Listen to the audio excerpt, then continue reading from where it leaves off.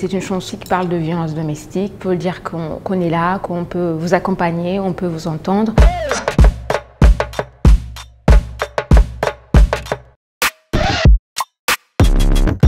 Je suis chanteuse, compositrice et comédienne. J'ai commencé à l'âge de 13 ans. C'est là où j'ai sorti mes deux premières chansons, les chansons qui rendent hommage aux victimes du génocide contre les Tutsis euh, de 1994 au Rwanda.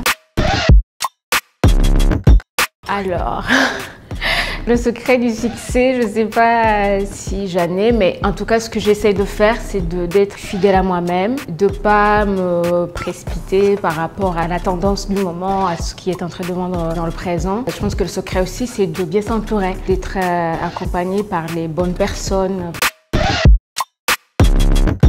Alors la cause qui me tient à cœur à ce moment, c'est la mobilisation et la campagne sur les violences domestiques et aussi en se focalisant sur les violences faites aux femmes. Et je fais ça à travers mes chansons aussi. Notamment, la dernière chanson que j'ai sortie s'appelle Atura. Atura et ça veut dire euh, briser le silence. C'est une invitation à briser le silence parce que c'est quelque chose qui touche l'intimité et on a du mal à en parler. Pour qu'on arrive à avancer, pour que ça s'arrête, ça, commence là parler, à pouvoir en parler.